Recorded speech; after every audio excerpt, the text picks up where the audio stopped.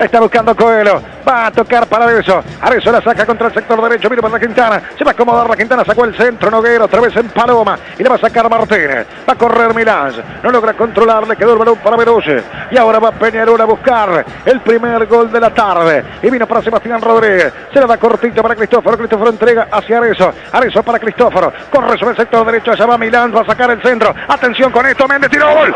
¡Gol!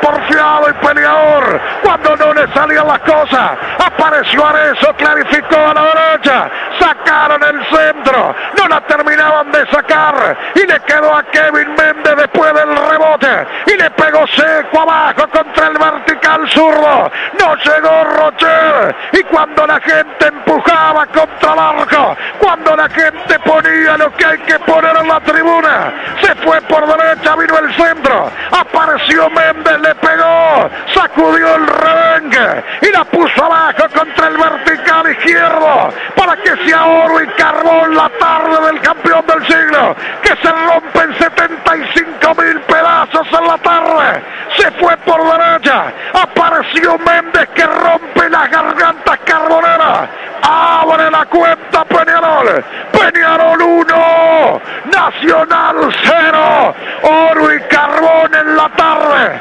estalla, se parte, se rompe el campeón del siglo, está ganando Peñarol. Fútbol a sol y sombra, llegando a todo el país y el mundo.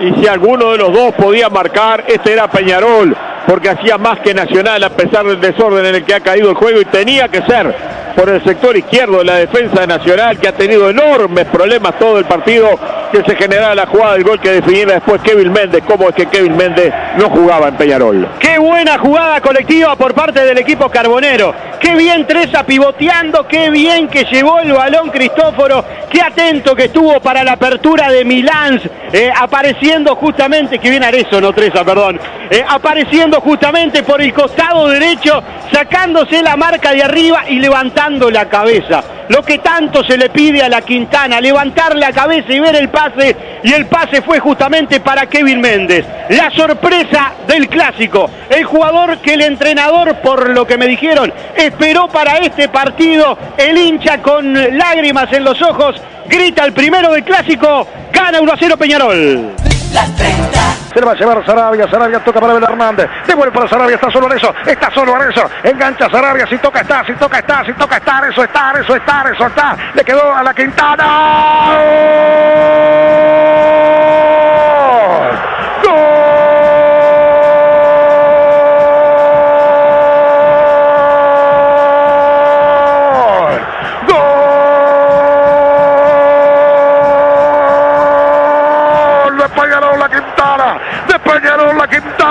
La trompada, la mandíbula de cristal, cuando tambaleaba en el ring nacional, electrizante como una ráfaga, trabó Sarabia con el corazón carbonero, se la llevó con ganas, se la llevó con coraje y con mucho huevo, la tiró hacia adentro, no llegó a eso, y la Quintana que en le pegó notable, se llenó el empeine, atravesó la tarde y se metió contra el vertical zurdo, para el estruendo final clásico, para romper el clásico, para darle la victoria y la cima Peñarol de este campeonato apertura, para que se cierren los puños, para que se grite Peñarol carajo, lo fue a buscar Nacional, trabó Sarabia y de contra, la Quintana que le pegó bárbaro, sacó un misil del botín derecho, la pelota fue al fondo del arco. Y el estruendo final de la tarde clásica. Que se va en oro y carbón, que se va carbonero en la tarde.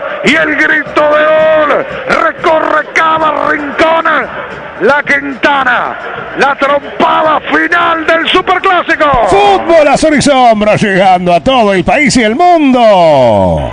Y esta es la consecuencia lógica del trámite del partido. El Vasco le dijo, está abierto, puede haber un gol y yo les agregué, es más seguro el segundo de Peñarol que el empate de Nacional porque así estaba planteado el partido. Error defensivo en la salida de Nacional. Gana Peñarol claramente ahora el clásico. Dos cosas importantes a destacar, me parece, en la jugada del gol. La recuperación de Sebastián Rodríguez, que para mí ha sido un jugadorazo también de Peñarol en el partido clásico.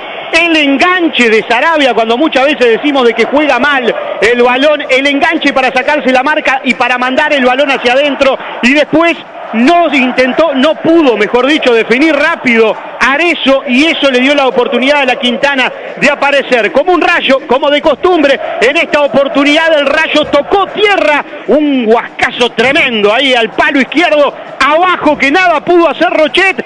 Cierra el partido del campeón del siglo, lo gana Peñarol 2 a 0.